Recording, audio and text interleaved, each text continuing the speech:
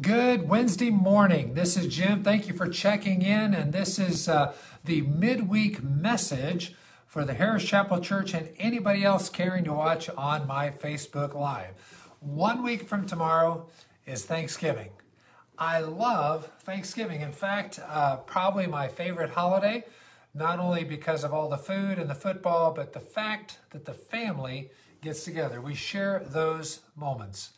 By the way, we had a wonderful service this past Sunday, a great group, a great uh, uh, attendance, participation, and God really helped us in the message. We talked about praying at all times, Ephesians 6 18, as we were finishing up the uh, armor of God. We talked about praying all kinds of prayers in the Spirit on all occasions for all people. So I had a number of books available. I just want to share with you. We have several left out on the counter. If you want to come by our office and pick up one, you're welcome to read it, bring it back, keep it, share it, whatever you want to do. We just want to put tools in your hands. They're books dealing with prayer. One that you'll recognize, some of you will recognize, A Serious Call to a Devout and Holy Life by William Law. The Helper by Catherine Marshall. She talks about the ministry of the Holy Spirit. I had the privilege of working with and knowing her son, uh, Peter Marshall, the son of the uh, Catherine Marshall's husband, Peter Marshall, who was the chaplain of the Senate. Uh, got to know him back in Burleson, Texas. He came through for a series of meetings, and what a great historian. In fact, we may mention something briefly about that concerning Thanksgiving. Here's another book entitled The Kneeling Christian. Uh, a New Testament walk with Oswald Chambers. These are all books available. If you want to come by the office, they'll be on the counter. Take one, use them, pray. Prayer is the key. My Daily Meditation by John Henry Jowett, a great classic. Becoming a Woman of Prayer by Cynthia Heald. Three Minute Devotions for Guys, that's for teenage guys. Praying Circles Around Your Children by Mark Batterson. Alive to God Through Prayer, a manual on the practices of prayer by Donald Demaray, and a classic these days, The Prayer of Jabez by Bruce Wilkinson. I just, we want to put these tools into your hands because prayer is essential. It's what helps the armor really be effective in your life and my life. We can have the armor of God. We can talk about the helmet of salvation, the shield of faith, the sword of the Spirit, the belt of truth, feet shod with the gospel, the preparation of peace, breastplate of righteousness, all those pieces of armor. But unless we're praying, they're not effective. Let me just say that again. Unless we're praying, the armor of God in your life and my life is not effective. Now, let's talk about today, and I want to give you another, like we did last Wednesday, I want to give you another little kind of a preview, just a snippet of what's going to be happening this Sunday as we talk about Thanksgiving, giving thanks. If you have a Bible, I want you to look with me over in the Old Testament to First Chronicles chapter 16. First Chronicles 16. This is an exciting passage of scripture. This is when David in chapter 15 is bringing the Ark of the Covenant to Jerusalem. And as he's bringing it in, I love it at the end of the chapter. It talks about how he's dancing before the Lord and praising the Lord and how some that are watching are rather despised. Uh, but it's just exciting because the Ark is coming. And in chapter 16 of First Chronicles, David, as the ark is brought into the tent of meeting, the tabernacle, David appoints people there not just to guard the ark, but to use that, its presence, the time there. It says, in fact, he appointed Asaph and his associates to give praise to the Lord in this manner. In fact, they had the ark, and as they were there with the ark, they were saying, you know, we just got to continually praise God and thank Him for this ark. Let me just read the scripture in First Chronicles 16. We'll start at verse 8. Give praise to the Lord, proclaim His name. Make known among the nations what He has done. Sing to him, sing praise to him, tell of his wonderful acts, glory in his holy name. Let the hearts of those who seek the Lord rejoice. Look to the Lord in his strength, seek his face always. He goes on, remember the wonders he has done, his miracles, the judgments he pronounced. You, his servants, the descendants of Israel, his chosen ones, the children of Jacob. He is the Lord our God. He is the Lord our God. His judgments are in all the earth. He remembers his covenant forever. I tell you, I, I really just have to kind of move on because it would be so easy for me just to read through these verses and stop and just be so inclined to bring a word concerning what I'm reading. But I want to get on down to verse, let's say, I don't know, let's let's get on to verse 34 because this is the verse we're going to highlight Sunday morning along with a passage over in the New Testament. It says this 1 Chronicles 16 34. Are you ready? 1 Chronicles 16 34. Give thanks to the Lord, for he is good. His love endures forever. See that I want you to think about that as we enter into the season of giving thanks. A week from tomorrow, like I said, is Thanksgiving Day. I want you to think about what it means to be a thankful people. What if you and I, not just on that day of counting our blessings and thinking about all the great things that we should be thankful for and going around the table, which I hope you do, and just have different ones in the family say, I'm thankful for this and that and the other. And usually it's things like good health, uh, family, uh, job. Obviously, we're thankful for, for people of faith, we're thankful for Jesus. There's just a number of things that we could just count our blessings, as the old song says, and say, I am thankful for this and this and this and this. I love it how on social media there are people that are taking a day, each day during the month of November, saying, I am thankful for. And on one day it could be family. On one day it could be their local church where they fellowship and they're gaining knowledge of the word and, and strength from other believers. It could be their job. The list is on and on. But I love what this scripture says. It gives, give thanks to the Lord, for he is good. His love endures forever.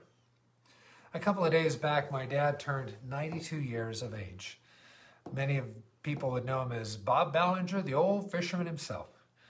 Dad was known as a coach. He was known as a school counselor. He was known as an administrator. But more than anything, he's been known over his life as a great fisherman. In fact, I shared with you the other day when I called home and talked with Dad on his birthday. He was, or on Veterans Day, he was more excited talking about going fishing last Tuesday than he was about what I was talking about concerning Veterans Day. He loves to fish. Every time I talk to Dad, somewhere in the conversation, he'll say this I don't know how I deserve it. I really don't. But the Lord has truly blessed your mom and I. We're blessed.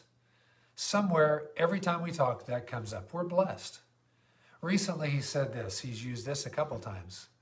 We're blessed beyond what we deserve, but not blessed beyond what we appreciate. I thought that was good. Let me tell you that again. We are blessed beyond what we deserve, but not blessed beyond what we appreciate.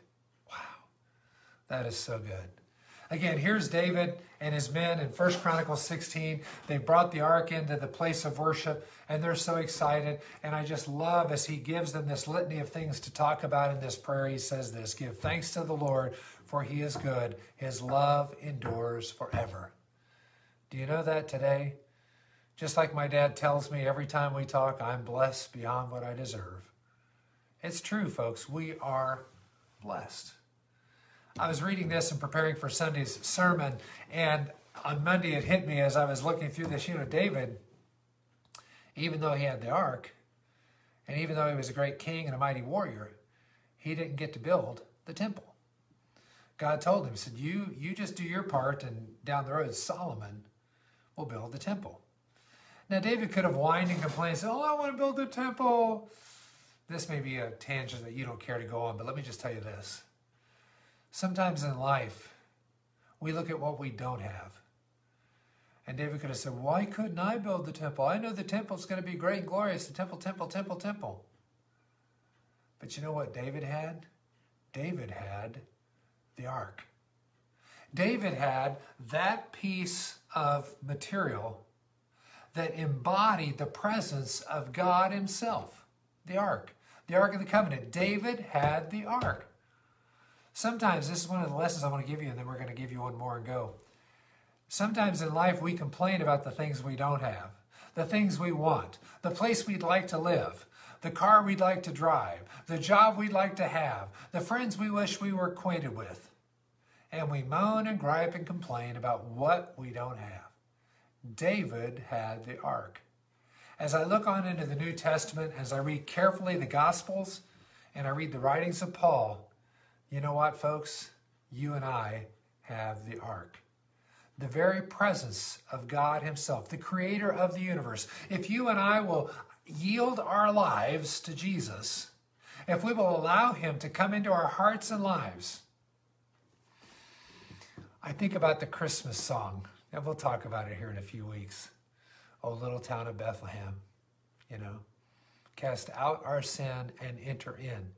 Be born in us today. That's what the creator of the universe wants to do. He wants to literally become the ark in your life. It talks about that in John chapter 1, how he came to walk among us, how he came to live among us, and in the original language, how he came to tabernacle in our lives. The creator of the universe wants to come and be the ark in your life.